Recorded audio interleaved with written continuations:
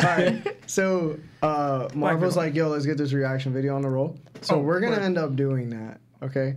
So Marv, uh, for anybody that hasn't watched this, this is Mr. Morj. He's super great on One Piece. I suggest watching him. He's one of the many few that we follow. So, um, yeah, Marv, whenever you're ready, let's hit that. Hey everyone, so today I want to talk about what is, in my opinion, the greatest One Piece theory of all time. Not anymore. And no, I'm not just talking myself Not up here because it is not my theory.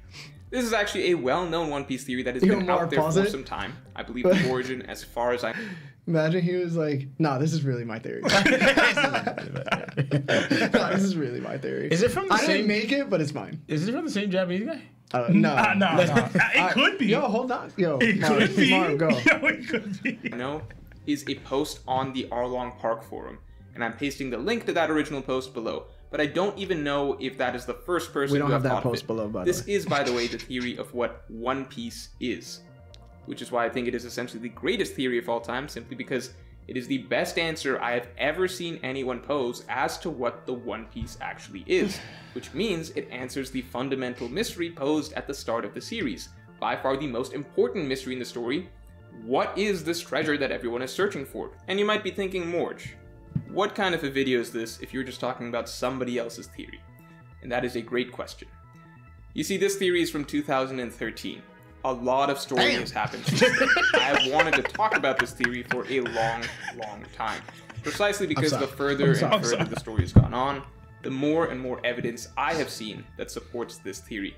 I think that enough has happened since that theory was posted that it's time to take another look at it with a wealth of new evidence and consider if maybe it actually is just the definitive answer as to what One Piece is. So before we get into it, make sure to subscribe for more One Piece videos every week.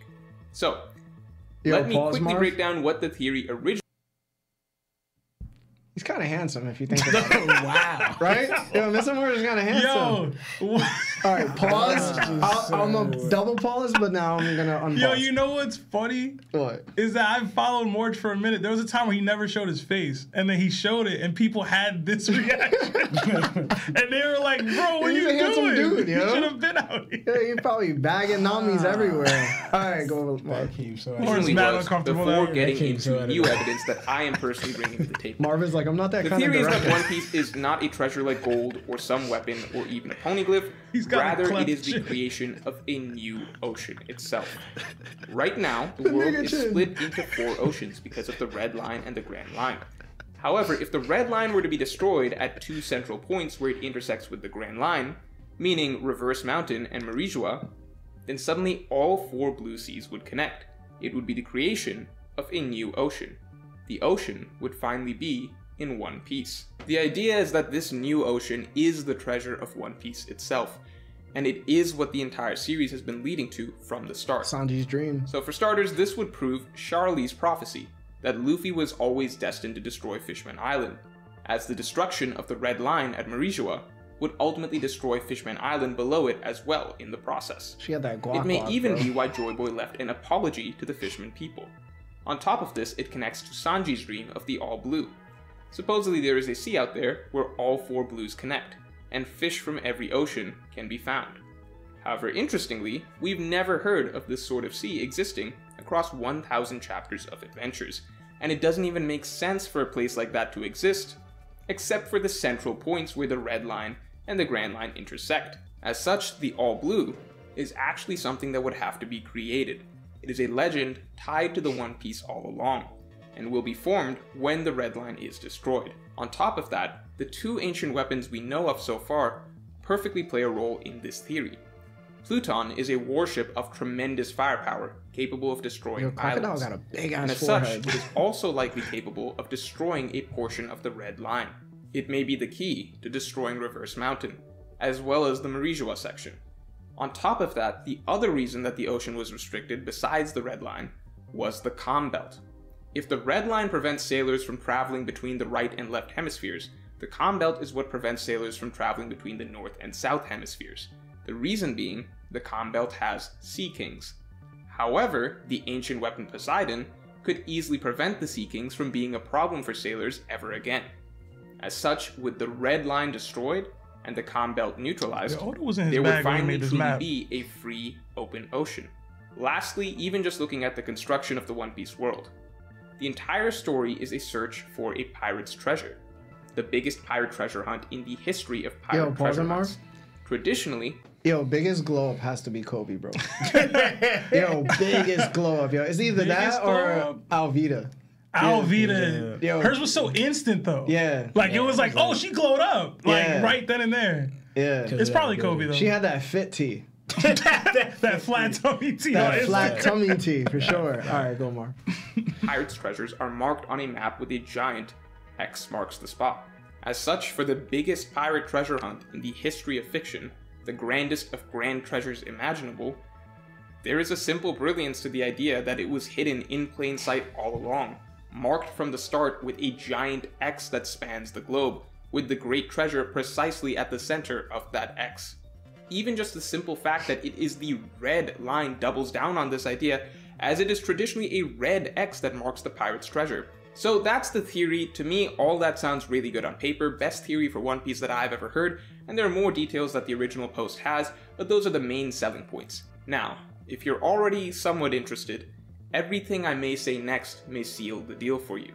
If you're skeptical, then I think you may at least have second thoughts after hearing my reasons. So, I got second thoughts now. Let's get into my thoughts. From the way I view the series, this theory is probably the most fitting idea for what One Piece could possibly be, that stays true to everything Oda has set up both plot-wise and thematically throughout the story for several reasons. So, first of all, let me quickly address a common criticism I see of this theory, which is that an ocean, a new ocean, is not a treasure, and that Oda promised that there would be an actual physical treasure, therefore this theory can't be correct. Guess what? A new ocean is a physical treasure. What Oda said specifically is that One Piece wouldn't be some sort of intangible concept, like friendship or love or something like that. Thank God. But the creation of a giant Thank new God. Ocean lying, to sail yo. around on is very much a real made along the tangible reward. And if anything, it would probably be the reward that would make Luffy the most happy. Luffy it is gonna punch essentially the red a line and be reward like, perfect for someone like Luffy, because by the end of the series, Luffy will have sailed the entire Grand Line. He will already have completed the journey across the most exciting sea. The only way up from there for him is if now all of the world's oceans were to suddenly be connected and he's now got one giant new ocean to explore where he could suddenly freely travel anywhere and everywhere, no more restrictions between the four blues, just finally endless open world adventure for Luffy and the crew. What do you think Luffy could be rewarded with that could be actually better than a giant endless ocean of adventure? Boa Meat, Hancock. money, a new hat? I think it's very clearly this. And again, while Oda has made clear that things like friendship aren't a treasure, Oda also went to great lengths from the start of the series, from all the way back in East Blue, to make clear to readers that a treasure can still mean many different things. If you go back and reread East Blue, you will see how many times Oda tried to beat that message into our brains. So yes, an ocean can be a treasure. Lastly, just think about it from the perspective of Sanji's dream. Sanji was searching for the All Blue, this special ocean. Before, pretend you've never heard of the theory that the One Piece is the All Blue. Would you have said that the All Blue, Sanji searching for the All Blue, is the same as just finding, you know, friendship or love? No, I'm pretty sure it's pretty obvious that the All Blue that Sanji was searching for is a physical, tangible goal for Sanji. So Hold you on, shouldn't change. Is this the same uh, thing that when I think you were saying, Sebastian, that Sanji and Luffy parallel each other and they have the, basically the same dream, but they don't know it yet? Yeah, it was after I saw this video I was telling you about. Wow. Yeah. Makes sense.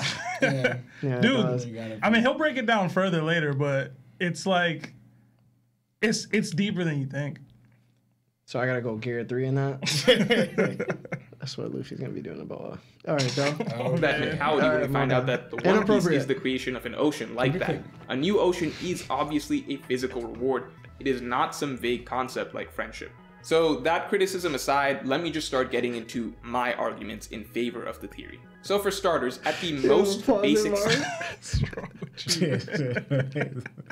Yo, you think Boa has like respect? Stop. That's an inside joke, y'all. Oh, my sorry. goodness. All right, go Marv. Go.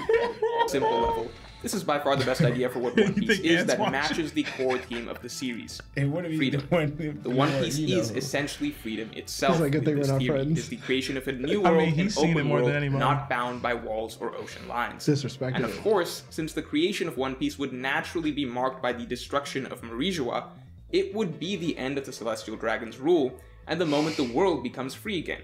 As such, in both a literal geographic sense and in the actual series' central conflict, the destruction of the Red Line at Marijoa is the birth of a new world of freedom. Or actually, maybe it could be better said to be the dawn of a new world of freedom. Because there's a long, long running theme that has been built up throughout the story. There is a cycle, a cycle of oppression, destruction, and rebirth. Or more precisely, I guess, darkness, destruction, and a new dawn. This is something I discussed at length in my video, The Dawn of One Piece, but let me summarize here. The messaging that Oda has woven into the story over a long period of time is that there is a great darkness that envelops the world, that is, the world government. And it has been keeping the world in essentially a long night for 800 years. The sun represents freedom, and so the dawn of this world is the birth of a new world of freedom. And lastly, the path to the sun always begins with destruction first. The existing order has to be destroyed for the dawn to rise on a new world. If we focus on this point of destruction, we can see quotes supporting this all the way back in Drum Kingdom, with Dalton explaining that Drum Kingdom needed to be destroyed, and that they needed to start again with a clean slate. And so the arc ends when they are reborn as a country without a name.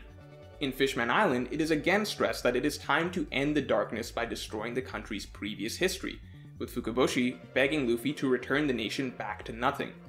And most importantly, we have Dressrosa. Again, I have a full video just on Dressrosa explaining how Dressrosa is meant to function as a microcosm of the world government as a whole, ruled by a celestial dragon the same way the world is ruled by celestial dragons. Dressrosa seems to be nice but has evil under the surface, just like the world government. Doflamingo makes people that don't obey him disappear, just like the world government makes potential threats disappear. Doflamingo erases knowledge and history from people's minds, just like the world government erases the history of the world, so on and so forth. I really suggest watching that video for a more Yo, pause it, comprehensive breakdown, but the important point is that the I feel like they tried to do this with like Trump. what? Censorship and erasing it from history. Hey, man. Yo, man, this Yo, I like- haven't seen Trump on Twitter in a minute. Yo, it's been a long time, yo.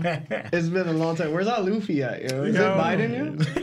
It's definitely not Biden. It's definitely not Biden. it's definitely not Biden. Yo, this is crazy. Nah, it's, Damn, does that mean Biden's dragon? nah, Nah. nah. Who touches kids in this show? What? Come on, man. That's- Just play the video. What? play Wait. the video. Yo, that's Play the video. entire ending of Dressrosa Marvin's like, that got political. the old nation of Dressrosa being completely destroyed, completely and utterly reduced to rubble, which allowed for the birth of a new land of freedom. And so that is the consistent messaging throughout the story. Destruction of the pre-existing order, Yo, reduce everything to rubble, What's wrong with you, man? I can just imagine somebody looking on the hill. They're like, I ain't even got a short. Their house is just all destroyed. Oh, You think they get pirate insurance?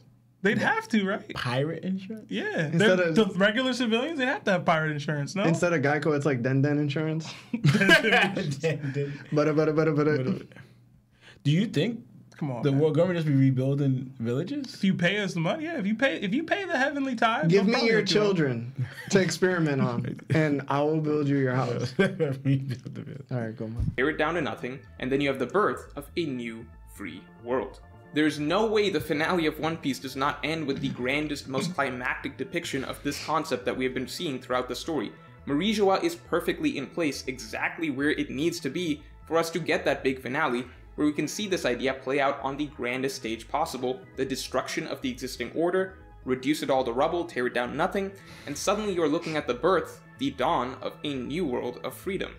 The celestial dragons are gone. There is a boundless open ocean with no barriers, no great controlling force. It is the dawn of a new world. Now, one thing people don't see quite fitting is that the end of the story is just going to be Pluton being fired at the red line. This is where I think that there's a crucial, powerful piece that was missing from the initial theory. I'm gonna get back to Marijoa in a second, but first let me remind you guys that the red line needs to be destroyed at two points. First Reverse Mountain, then Marijoa.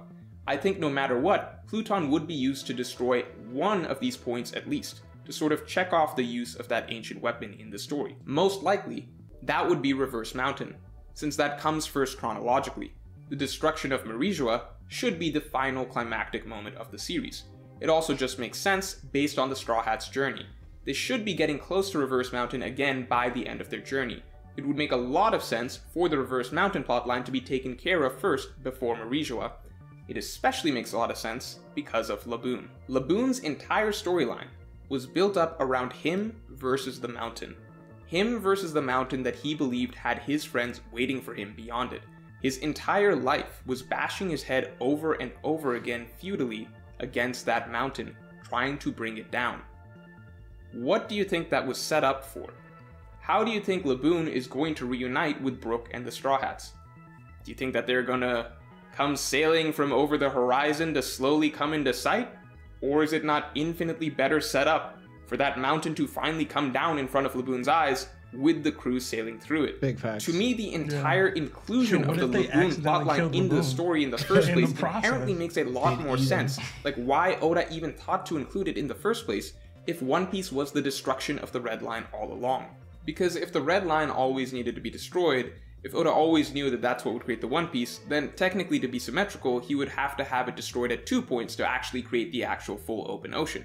So Oda couldn't just have one big destruction event occur at Marijoa, he technically would also need to destroy Reverse Mountain at some point over the course of the story. Okay, but then that kind of makes the destruction of the Red Line at the end of the story slightly anticlimactic, since now it's happening twice but not if you're smart like Oda and you realize you can get another story out of it. And so Oda wrote in Laboon, a character whose entire storyline was built around wanting to see the destruction of Reverse Mountain so he could be reunited with his friends. And Oda wrote in Brook, so that this storyline actually culminates in a powerful reunion when the Straw Hats inevitably come all the way back around and destroy Reverse Mountain. That makes it so that the first instance of destroying the Red Line is its own special event for an entirely different reason. It's the resolution of a long running character plotline. From there, the Straw Hats could easily sail back through the first half of the Grand Line to Marijoa, gathering allies from the first half of the Grand Line as well along the way. I fully expect the nation of Alabasta to be involved in the final battle. I fully expect Amazon Lily to be involved, so on and so forth. Whereas the Stride allies from the New World could easily follow them through the first half of the Grand Line as well, or just come around at Marijoa from the other side in sort of dual front attack. It doesn't really matter. And now we get to Marijoa. Do I think that Marijoa is going to be destroyed by Pluton? No, that is a weird, anticlimactic end to a story like One Piece. Just having a big ship shoot a big cannon to make a big explosion, and then freedom. I doubt it would ever be that easy. I think the simplest answer is that the final arc of One Piece will climax the same way that every major arc of One Piece climaxes, with one final attack by Luffy.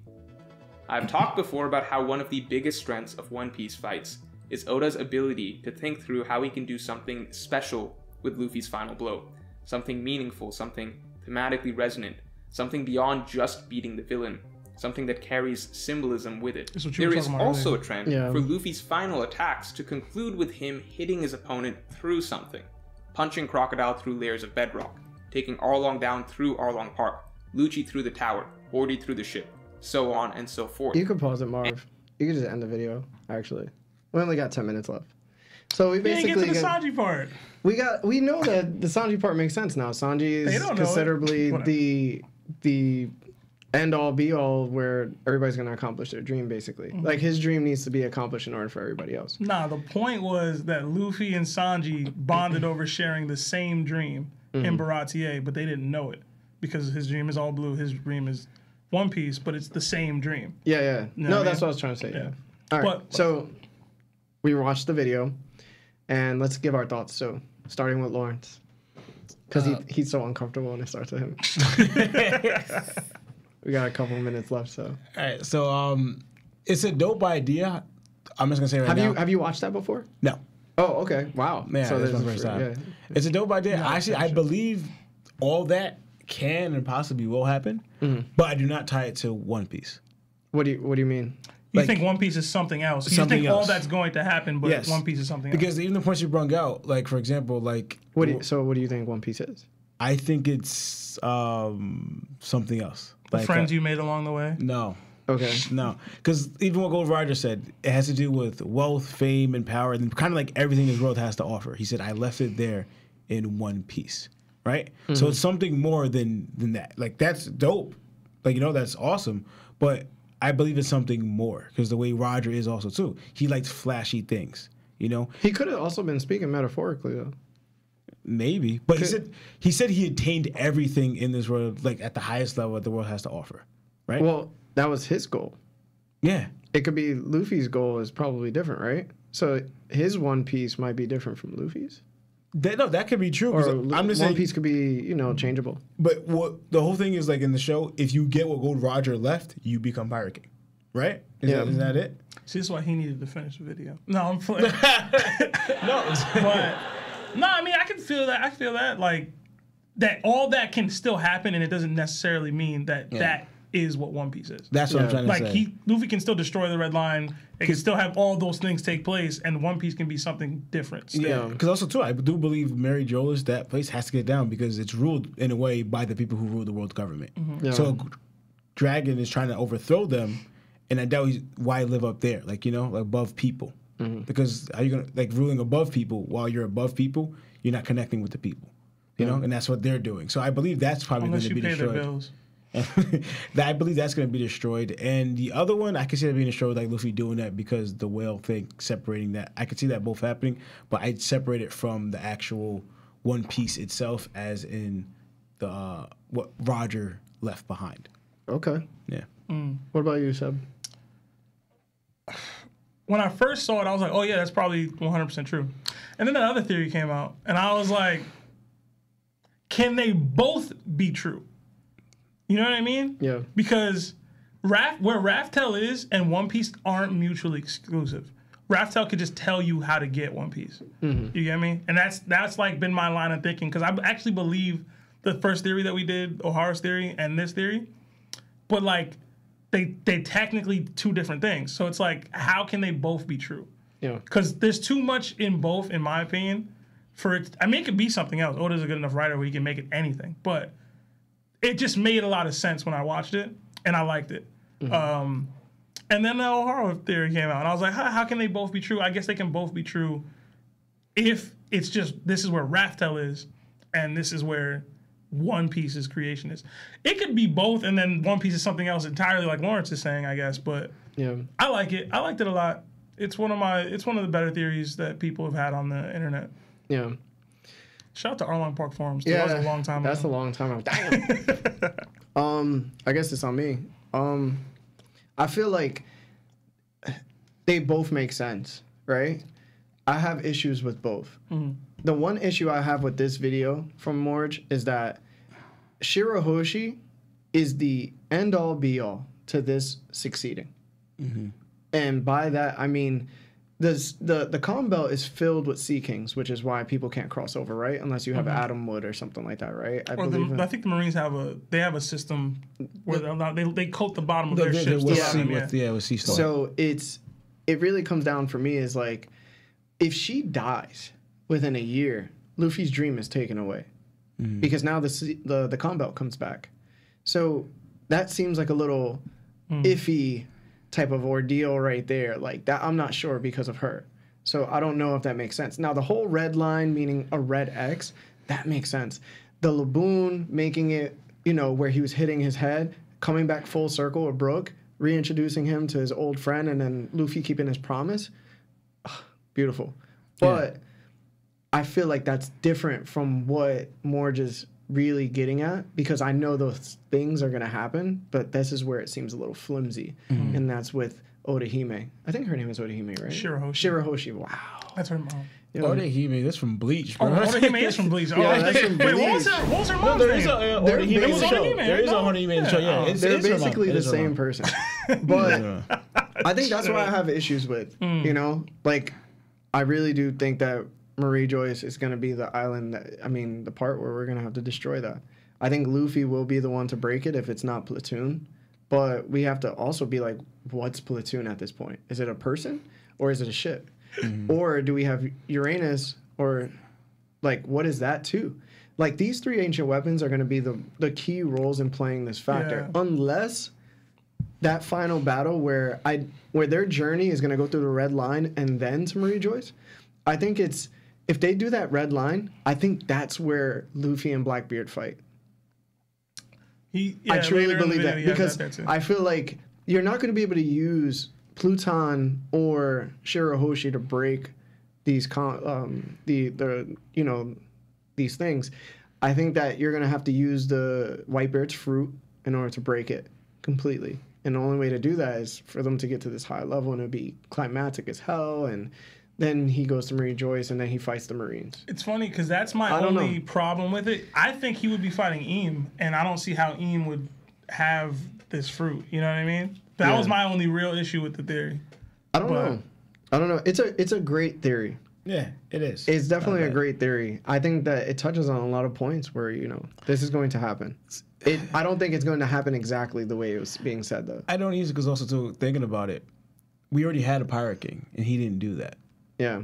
The only thing I had that was different about the last theory that we watched with Ohara, Mm-hmm. it was in order for Jaya to be moved that far from Enies Lobby, we would have had to have some continent pullers, such as oars, pull that island away.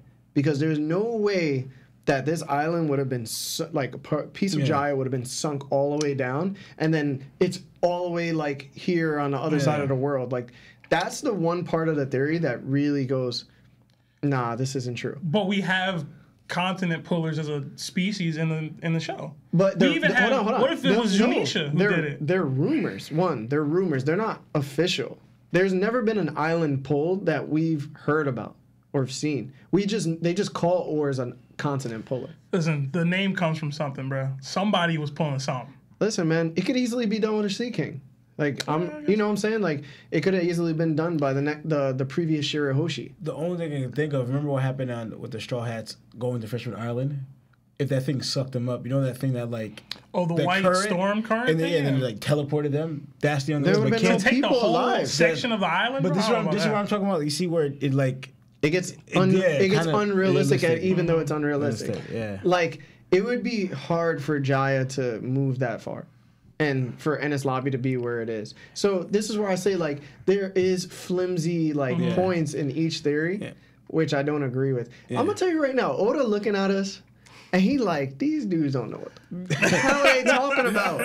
They don't know what they talking about. No. They out here ca- catching, you know, this cat and mouse right now, bro. because also And I'm thinking- Tom. I don't know. I think we on his heels. I'm bro. Jerry, I think we on his heels. like, bro. Yo, we gotta be on his heels. We heels. on his heels, Because bro. He's also like, true. chill. Think about Gold Roger. Gold Still Ro- time to change it up. Stop putting videos out.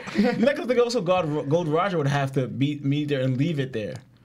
Did he really, really go No, to L's hold on, lobby hold to on, leave hold it? on. The reason why Roger couldn't is because he knew he was dying, and Shirahoshi wasn't going to be of age to control the Sea Kings in time for him to do it. Roger was like, "Damn, I You know wish what I mean? I No, No, I'm was here when for she was I'm talking ripe." for theory, for theory for um the other theory we did, the other reaction. Oh, oh, oh. Um, I missed what you said.